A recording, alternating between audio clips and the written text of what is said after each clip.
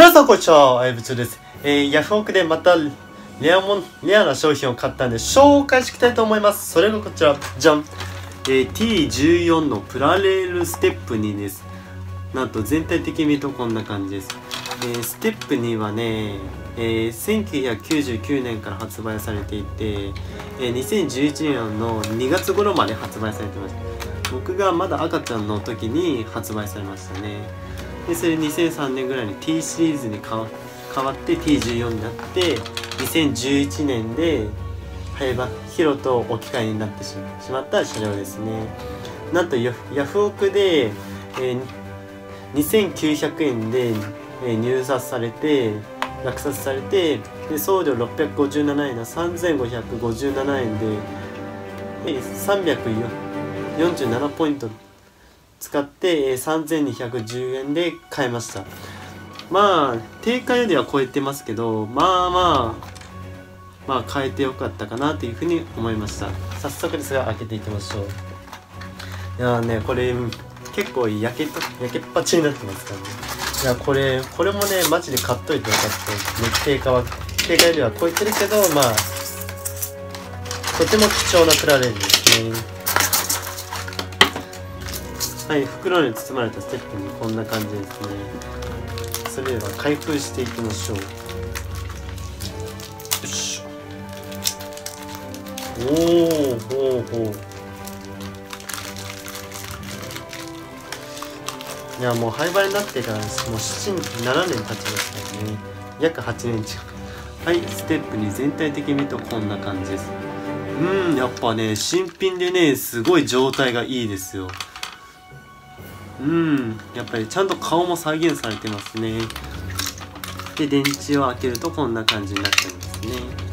あと問題なのはよくあるのがギア割れです。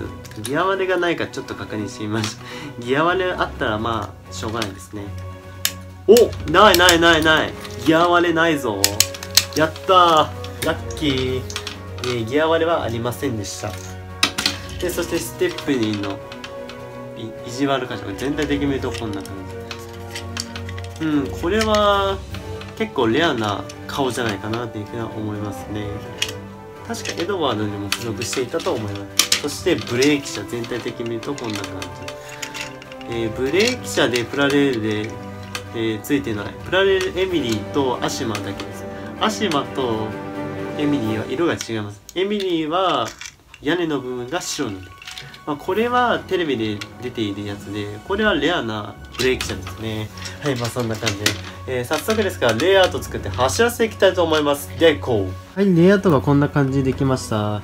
えー、機関車トーマスデコボコ峠セットのレイアウトを作りました。えー、そこにはプラレールステップ2で、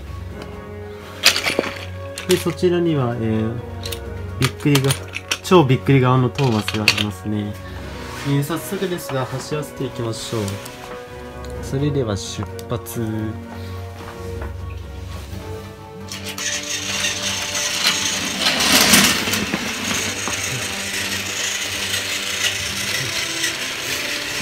もうちょっと置いた方がいいかな。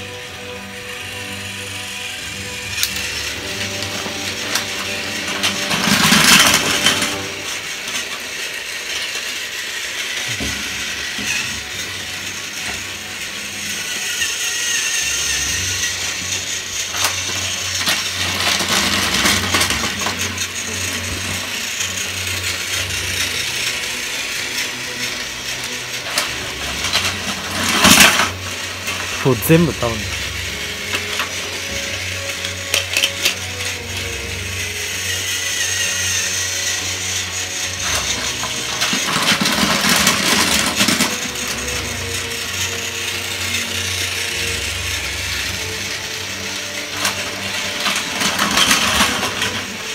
まあこれは倒れないね。気がね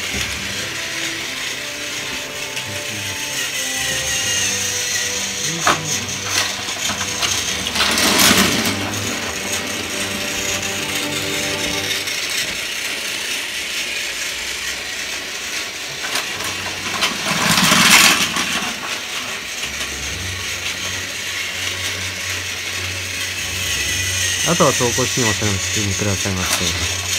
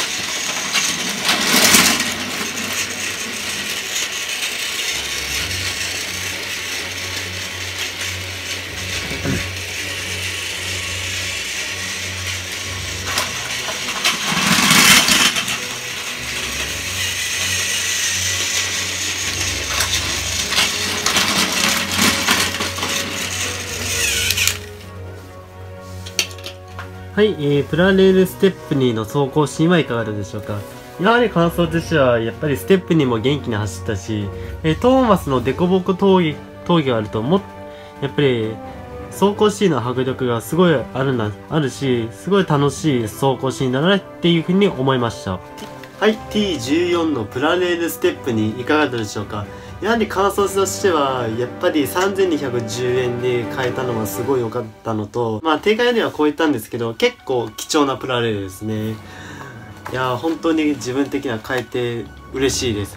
まあ、あと T シリーズで残ってるのが、ネビルとマイティマック集めれば、もう T シリーズを買うことは終了となります。はい、まあそんな感じで、えー、これからもだんだんとレアモンをたくさん仕入れて、商品紹介して走らせて、えー、もっとたトーマス系の動画を上げていけたらいいなというふうには思っております。はい、そんな感じで。本日もご視聴ありがとうございました。バイ